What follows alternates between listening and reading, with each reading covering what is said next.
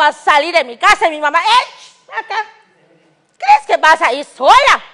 No, vas a ir con tu hermanito. Ay, chaperón. Pero luego reaccioné, dije, ¿qué, qué va a mi hermanito? ¿Cómo me va a acusar si es mudo?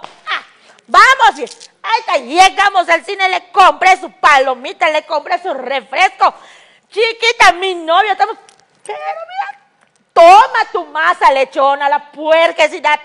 Terminó la película, nena. Llegué a la casa, mami, ya llegué. Está bueno. Pero lo que yo no sabía que mi mamá tiene su lenguaje especial con mi hermanito. Agarra, eh, chiquito, acá. ¿Tuvo buena la película? No. Ah. ¿Qué? ¿Qué película vieron? Ah, la guerra. La... Ah, ah. ¿Y qué?